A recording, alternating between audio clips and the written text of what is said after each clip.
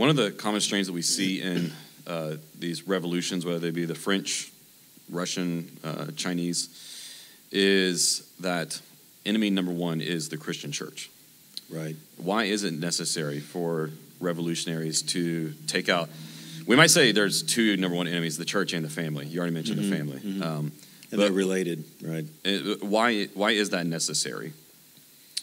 Well, because the idea is that God is the ultimate tyrant, God is the ultimate authority figure, and God is the one who says no to certain things and demands obedience and sets up structures for human life, Mm. and all that has to be torn down.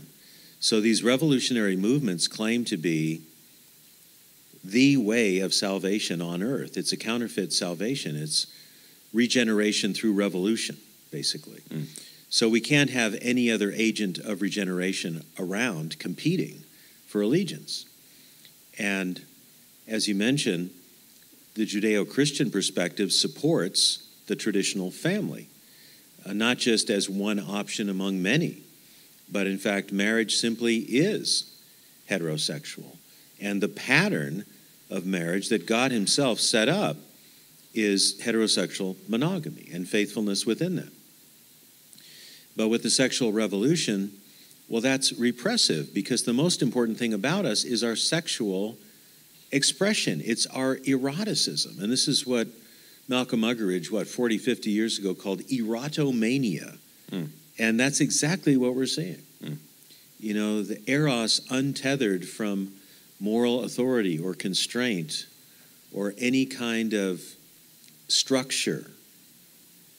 And it produces a deep ugliness in society. So if you can't shut down the churches or convince people to be atheists, then try to win them over and show them that Christianity actually is pro LGBTQ.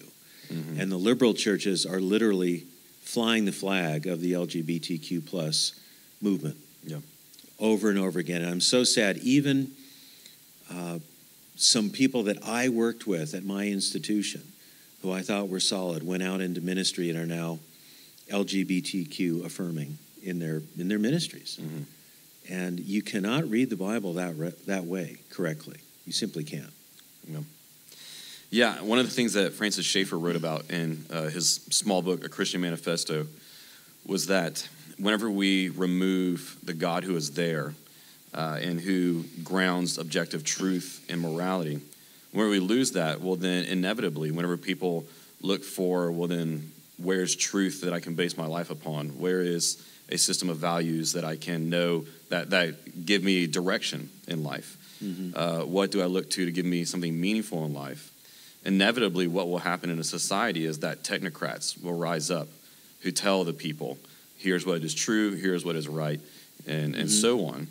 And I think that the reason why the church has to be enemy number one for all these revolutions is because the end goal is always a Leviathan state that is determinative of all meaning Right, and exactly. uh, also determinative of, of all categories. Mhm. I think that's why um, there's such a big push by these leftist movements today to eliminate any type of category that even uh, comes with a an obligation.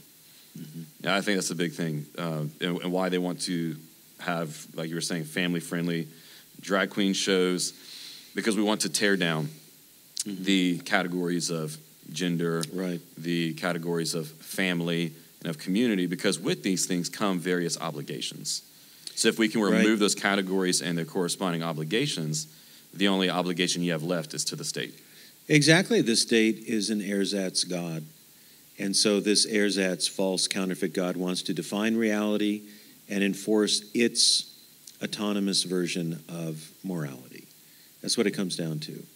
So we've got to understand our Christian worldview. What does the Bible actually teach about God, humanity, sexuality, and society?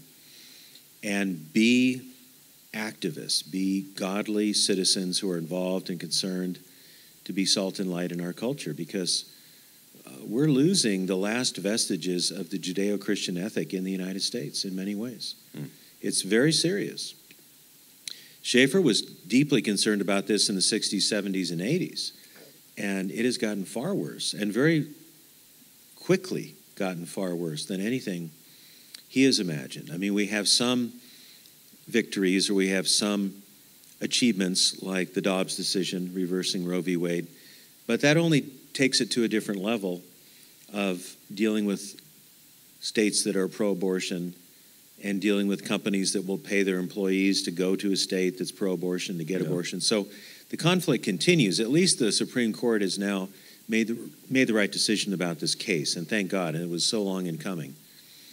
But there are a lot of other issues to face in terms of critical race theory, gender ideology, and Christians need to really think through what they believe and why and how it relates to our culture because this is no time to coast yeah. as a Christian. Things are too serious. They're, we're talking about normalizing pedophilia.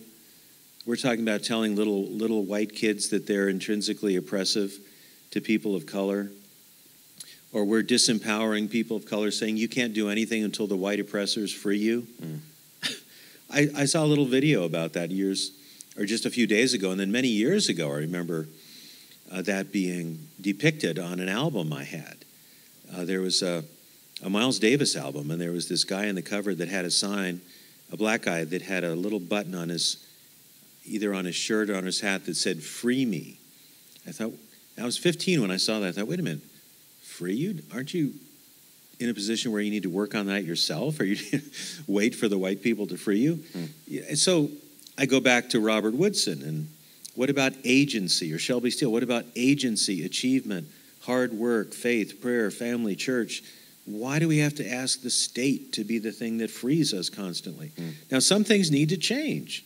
Obviously, Jim Crow had to be buried, killed and buried. And you've got to try to make things as fair as possible and really empower people uh, in poverty, whatever mm. race they are, and try to encourage them and help them and pray for them. But this idea you've got one group that oppresses, another group that's oppressed. And unless the oppressors do almost all the work, the oppressed are just going to stay oppressed. Well, that's a recipe for underachievement. That's a recipe for failure, depression, and all the rest of it. You know, we're made in the image and likeness of God. The old children's song, you remember that? Jesus loves the little children, red and yellow, black and white, they're precious in his sight. Mm-hmm. Somebody told me, well, that's actually racist because you left out a few colors. I mean every color, okay? They're all precious in His sight. Yeah. And we all have potential because we're made in the image and likeness of God, but we're all sinners, so I need to come to Christ for forgiveness and new life. But then we all have the possibility of doing the common good, working for the common good. Mm. And that's never been more significant, I think, than today, given the mass insanity we're seeing in some of these issues and the violence and the threats of violence. I think one of the things that is at the foundation of the controversy is who gets to define what is the common good. Exactly.